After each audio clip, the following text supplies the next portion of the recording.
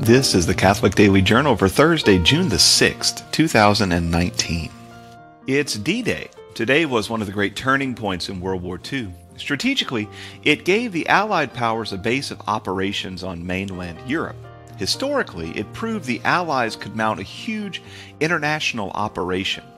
But the day is most often remembered and memorialized not for the historic or strategic circumstances, but for those who died under what really were inhuman conditions in order to save the West from Adolf Hitler.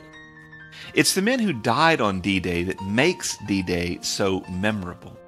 In 2019, U.S. President Donald Trump visited the UK for the 75th anniversary of D Day, and he said, quote, They did not know if they would survive the hour. They did not know if they would grow old, but they knew that America had to prevail. The cause was this nation and the generations yet unborn. End quote. D Day isn't really a time for rehashing historical details.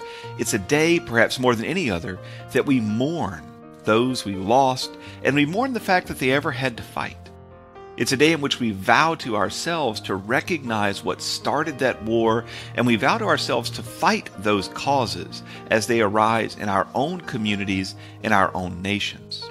It's tragic that young people are so quick to call everyone they disagree with a Nazi. It dilutes the horrors and the suffering of the people who died at the hands of German fascism.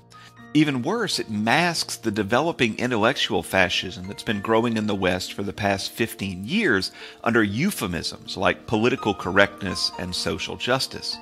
As Rowan Atkinson wisely said in a debate in the UK about the dangers of, quote, hate speech, he argued the proper response to hate speech is not labels and limitations, it is, quote, more speech.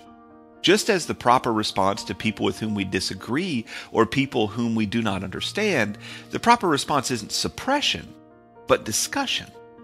Words now may well save lives later. At least let that be our prayer.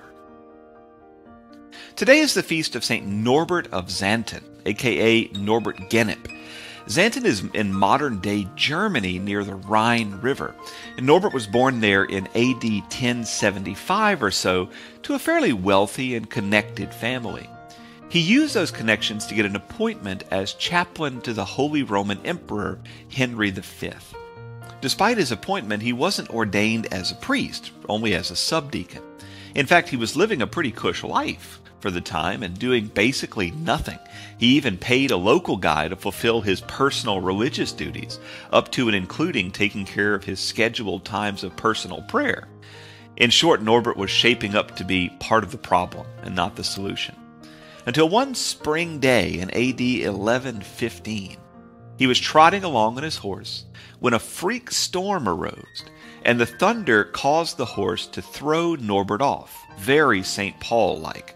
He almost died. And as he recovered, he had a deep change of heart.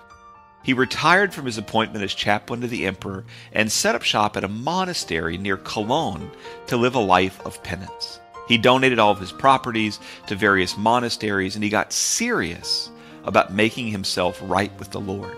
He was ordained as a priest and tried to establish a new religious order, but he was too intense, and three people died trying to keep up with his fasting and his personal penances.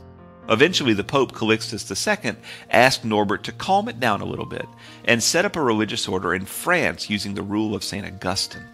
And so the Canons Regular of Premontre was born. Norbert ended up advising the new Holy Roman Emperor, but this time he did so from a place of holiness rather than sloth. And his whole story is wonderful to follow, full of twists and turns and unexpected holiness and fascinating moments. Definitely worth your time to look into.